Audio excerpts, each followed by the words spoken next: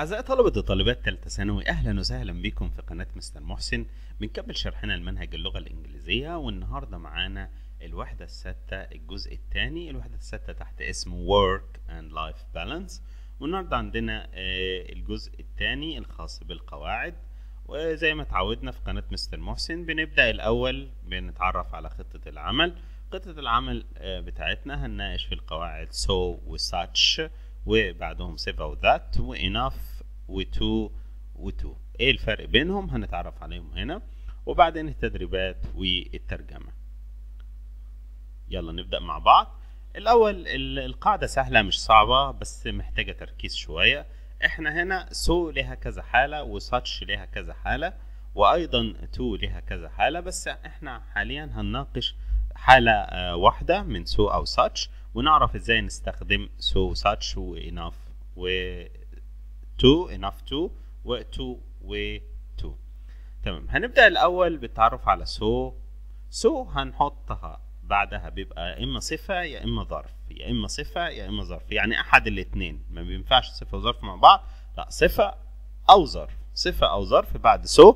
So تعني جدا جدا درجة من درجات آه، الصفة اللي هي الدرجة الأعلى من very. زي ما عرفنا إن الصفة لها ثلاث درجات. درجة اللي هي very تبقى صفة أعلى من الصفة العادية. وبعدين آه، so وبعدين to اللي هي t o o. الأول so تعني جدا جدا وبيساويها such في المعنى هنا. بس إيه اللي يفرق so عن such إن so باجي بعدها ظرف أو صفة. فبنقول على سبيل المثال that cake was so nice that I will have another one. يعني هذه الكعكة رائعة جدا لكن هت- ستتناول إيه؟ واحدة أخرى. فهنا so وحطينا nice في النص وبعدين that. دول كلهم بيعبروا عن نتيجة طبقا لدرجة الصفة أو الظرف. هنا بتعبر عن نتيجة. النتيجة إن الكعكة كانت so nice جميلة جدا أو رائعة جدا. لذلك أنا تناولت منها أو سأتناول واحدة أخرى. مثال تاني. They walked so slowly. Slowly هنا دي ظرف. They walked so slowly that they missed the train. لقد ساروا ببطء شديد لدرجة أنهم لم يلحقوا بالقطار. يبقى so ساروا أو مشيوا ببطء شديد. عشان كده النتيجة كانت إن هم ما لحقوش في القطار ده بالنسبة لسو فسو بيجي بعدها ظرف أو صفة. لازم ناخد بالنا من الحتة دي ظرف أو صفة وبعدين ذات. إنما such هي نفس المعنى بس بيأتي بعدها صفة زائد اسم. صفة زائد اسم. يعني زي ما نقول هنا it was such a useful book that I read it twice. لاحظ إن such جه بعدها صفة وبعدين اسم. صفة وبعدين اسم. يعني إنه كتاب مفيد جدا لدرجة أنني قرأته مرتين. فهنا الكتاب عشان هو مفيد جدا أنا قرأته مرتين. لذلك such بعدها صفة واسم إنما so بعدها صفة أو ظرف. طارق بالنسبة ل such طارق is such a friendly person. A friendly person. Friendly person. Friendly person يعني شخص ودود لذلك كل الناس بتحبه. طارق شخص ودود جدا لدرجة إن الكل بيحبه. يبقى هنا حددنا السبب وبعدين النتيجة. السبب وبعدين النتيجة. يبقى بتعبر عن النتيجة. تمام؟ نأتي للجزء الخاص ب enough to و to صفة to. إيه الفرق بين الاتنين؟ to enough enough to و to صفة to دول يعتبروا عكس بعض. دول يعتبروا عكس بعض في المعنى. إزاي؟ enough يعني كافي. وتو يعني جدا جدا لدرجة عالية إن أنا معاها ما أقدرش أعمل كده. فعلى سبيل المثال هناخد نفس ال ال المثال عندنا في enough. الأول بتكون الصفة وبعدين enough to فنقول حمدي is tall and fast enough. to be very good at basketball حمدي طويل وسريع بدرجة كافية لكي يصبح ماهر في كرة السلة. ف حددنا درجة الصفة بإن هي تكفي لأن هو يكون أو يؤهل ليه إن هو يكون جيد في كرة السلة. يبقى enough بتأتي بعد الصفة. لازم ناخد بالنا من الحتة دي. enough تأتي بعد الصفة وبعدها to مباشرة. حمدي is clever enough to answer the difficult question. حمدي ذكي بشكل كافي لكي يجيب على الأسئلة الصعبة. هنلاحظ إن enough برضو جات بعد الصفة. يبقى تيجي الصفة الأول وبعدين enough to وبعدين المصدر يعني هو عنده قدرة كافية أو عنده حاجة كافية من الصفة تؤهله إن هو يقدر ينفذ شيء معين. إنما تو بتعني العكس. تو تعني العكس. تعني إن هو في الصفة بيكون جدا جدا لدرجة إن هو لا يستطيع أن يفعلها. زي على سبيل المثال. بنقول the sea is too cold to swim in. يعني البحر بارد جدا لدرجة يصعب السباحة معها. لا يمكن السباحة فيها.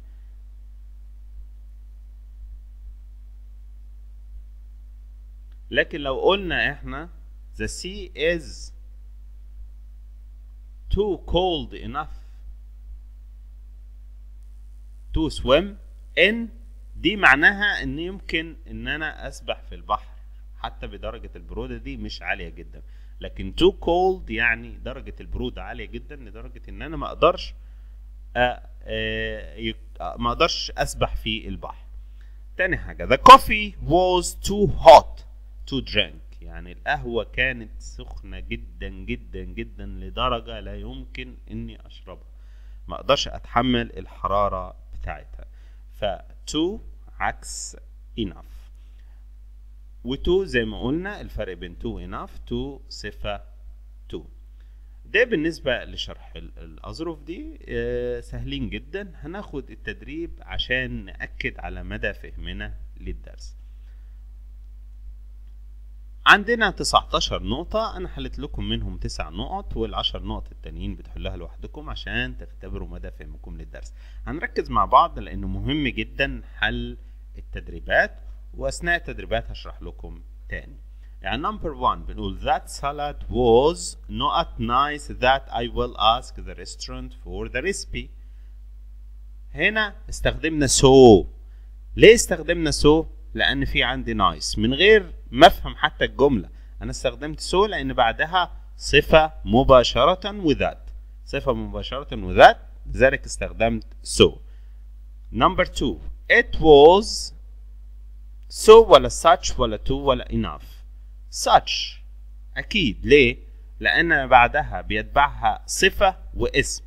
لذلك it was such a long film that some people feel asleep before the end.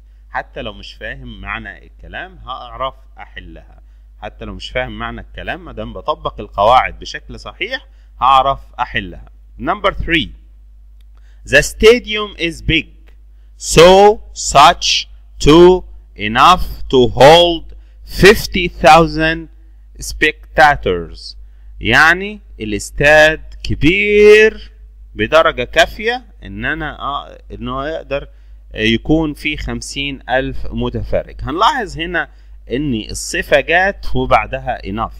فما دام الصفة موجودة استحالة ناخد so أو such أو to والإضافة لذلك إن في to عندي مفيش that. يبقى so such مستبعدين وتو مستبعدة لأن الصفة قبلها. فتو ما بينفعش نقول big to to لذلك هنقول is big to is big enough to number four. That ladder is so ولا such ولا to ولا enough ولا long to be put on the back of the car. طويل جدا لدرجة إن أنا ما أقدرش أحطه في السيارة بتاعتي. فهنلاحظ هنا إن أنا هستخدم so أو such أو to أو enough. أنا هستخدم to to لسبب. إن أنا في عندي to وما بينهم صفة. آه شيء تاني إن أنا ملاحظ لو أنا نفيت الجملة دي هستخدم enough. لو أنا نفيت الجملة دي ممكن استخدم enough لأن زي ما قلنا to عكس enough و enough عكس to number five today is much so ولا much ولا too ولا enough hot to play uh, tennis outside بلا شك ان إحنا نختار to لأن بعدها صفة وبعدها to number 6 elephants الافيال are so ولا such ولا to ولا enough powerful that they can push over trees. هنا آه لازم ألاحظ شيء معين إن الصفة عندي موجودة صفة ما فيهاش اسم وفي ذات. يبقى بلا شك هتروح دماغي لتو أو such بس هختار آه such أو so سوري such أو so. هختار so. إيه السبب؟ لأن بعدها صفة فقط. صفة فقط مش صفة واسم لو صفة واسم هختار such. Number 7 this is so ولا such ولا to ولا enough and all the tree that is amazing it is still alive. هنلاحظ حاجة معينة هنا في ذات موجودة عندي ذات يبقى هلغي إمكانية استخدام enough أو to هيبقى so أو such. فمادام في an old tree فهنا تعني صفة واسم يبقى اختار such وأنا مغمض. Number 8 nobody has been to the top of the this mountain because it is so such to enough dangerous to climb. في عندي to بعد الصفة يبقى بلا شك لازم أختار to ما ينفعش أختار enough. enough لو كانت بعد الصفة يعني لو كان في صفة الأول هنختار enough بعدها. لو مفيش صفة لو الصفة بعد ال الاختياري يبقى هنختار to يبقى to الأول dangerous to يبقى الصفة ما بين to و to number 9 this book is so such to enough famous that nearly everyone has read it هنلاحظ هنا ان famous that يبقى استبعد enough و to هختار such أو so لذلك هختار so لانها بعدها صفة فقط مش صفة واسم بالنسبة من 10 ل 19 بتحلوها لوحدكم أنا هقراها لكم. أعتقد القاعدة واضحة بشكل جيد. لو في عندكم أي استفسار أو اقتراح ما تتردوش في ارساله لقناة مستر محسن سواء في التعليقات أو في الإيميل أسفل الفيديو. Number 10 I wanted phone but it was so such to enough expensive for me to buy. Number 11 the hat. Was so such to enough small I couldn't wear it. Number 12 هلاحظ هنا ان مفيش too بس في درجة إن هي آه، مفيش آه، مفيش too مرة تانية أو that مرة تانية بس في درجة من درجات اللي بيكون فيها استحالة نتعامل مع الصفة. Number 12 the hat wasn't big. So wasn't. لاحظ نفي. So such to enough to wear. Number 13 the boys ran so such to enough slowly to win the race number 14 Ola is very intelligent, so such to enough to pass the exam easily. Number 15. Hamdi is so such to enough a strong man to be good at weight lifting. Number 16. Hannah felt good, so such to enough to come to school. Number 17. Is it ever so such to enough hot to play games in the park? When? Number 18. The book was so such to enough interesting that I wanted to read it again to buy a new. Number 19. The story was so such to enough difficult to believe what happened وبكده ننتهي من الجزء الخاص بالتدريبات وننتقل إلى الجزء الخاص بالترانسليشن أو الترجمة والترجمة عندنا اتنين جملتين ترجمة من إنجليزي آه، لعربي translate into Arabic. وفي عندنا اتنين لترجمة من العربي للإنجليزي. عندنا آه، ال- الاتنين اللي هو من إنجليزي لعربي أنا حلت لكم منهم واحدة والتانية بتحلوها لوحدكم. وتذكر دايما إن الترجمة هي ترجمة كلمات ترجمة معاني مش ترجمة كلمات فقط أو ترجمة حرفية. لذلك أنا لازم أفهم المعنى بشكل جيد. وأصيغه باللغة التانية سواء العربية أو الإنجليزية بشكل لغوي سليم Number one, modern societies need enormous amounts of power for heating, lighting, and industry. الترجمة العربية بنقول تحتاج المجتمعات الحديثة كميات هائلة من الطاقة للتدفئة والإنارة والصناعة. تحتاج المجتمعات الحديثة كميات هائلة من الطاقة للتدفئة والإنارة والصناعة. نلاحظ إن أنا حطيت الفعل الأول ما حطيتش الاسم لأن في اللغة العربية الجملة الفعلية تبدأ بفعل. Number two اللي بتحلوها لوحدكم بتقول most of this power comes from coal and oil. Experts say that this type of fuel will soon be used up. Most of this power comes from coal and oil. Experts says that this type of fuel will soon be used up.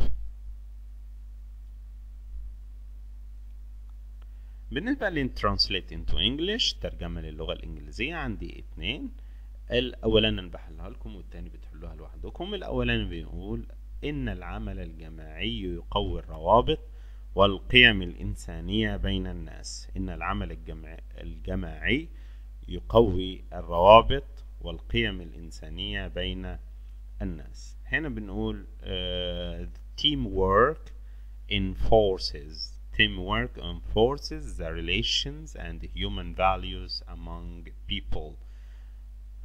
Teamwork enforces the relations and human values among people. هنلاحظ هنا الناس استخدمنا among لأن among دي بين ناس كتير أو بين أشياء كتير لكن between between تعني المعنى المكاني.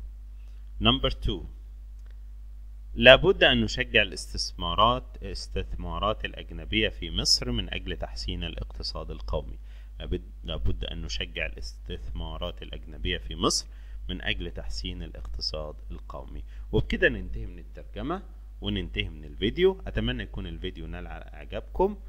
آه لو عجبكم الفيديو والفيديوهات اللي فاتت ما تترددوش في الاشتراك في قناة مستر محسن عشان يجيكم كل ما هو جديد وتعملوا لايك عشان تشجعونا نقدم لكم أشياء أكتر وأكتر. وما تترددوش لو عندكم أي اقتراحات أو استفسارات في إرسالها لقناة مستر محسن. تذكروا دايما إن نجاحكم بيكون بإيديكم. لازم يكون عندكم التزام وعزيمة وإرادة وتنظيم وإصرار وثقة بالنفس. أتمنى تكونوا استفدتم واستمتعتم والتعليم دايما هو متعة مش ضغط نفسي وعصبي. أتمنى أشوفكم في فيديوهات جاية على خير إن شاء الله. شكرا لكم وإلى اللقاء.